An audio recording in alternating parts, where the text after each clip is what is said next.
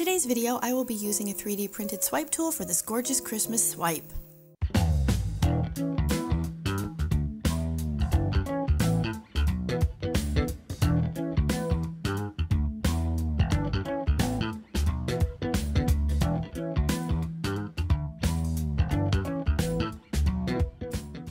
Okay guys, so I'm just going to jump in and get started. I am working on a 12 by 16 canvas. I have got all of my colors here. Now I did some mixing, so I did put all of the names and the brands in the uh, description. So if you're interested, go ahead and, and uh, check that out.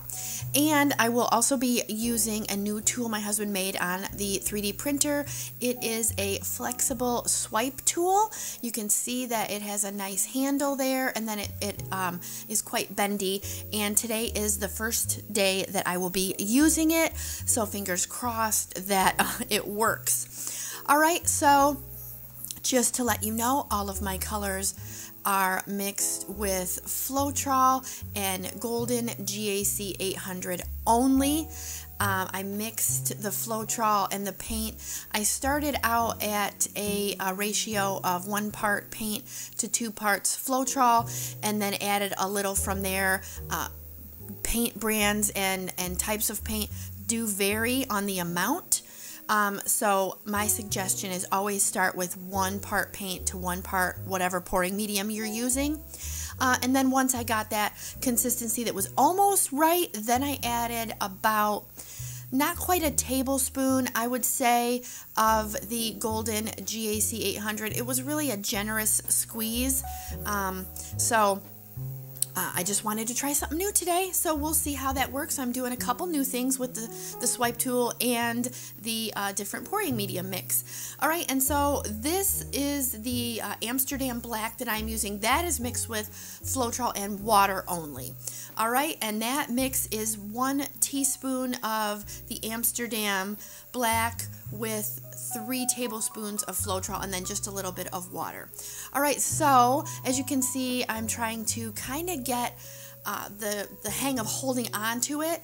Um, you just apply just a little bit of pressure. The first two swipes kind of I lifted a bit, but the rest of them looks pretty good. I think I'm getting the hang of it there. All right, I think I'm liking this so far. I love that I can just wipe it off after each swipe. I don't have to wet paper towels or cut baby wipes or anything like that. It's reusable. It's super cool. And I'd love to hear what you guys think about this swipey tool. So leave me a comment below. All right, and I am just going to let you guys finish watching me swipe this, and I'll be back in a jiff.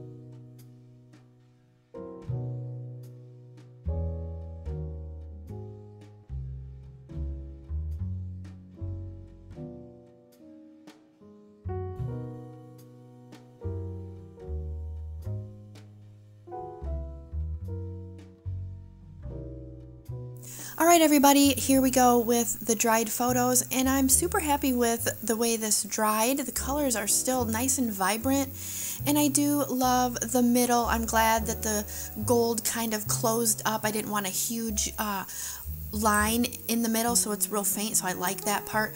And I love the way that this 3D printed swipe tool performed. It was super easy to use. It took me you know just like a couple swipes to get the hang of it.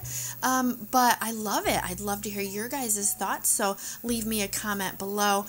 And don't forget to like this video, subscribe to my channel as well, and also share this video with anyone you think may enjoy it.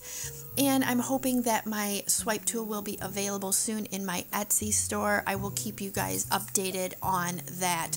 And I also want to wish you all a very Merry Christmas. I hope you are enjoying this holiday season and are able to spend time with your family and friends. All right, and I do have a bunch more videos that I know you will enjoy as well, and I will catch you in the next one.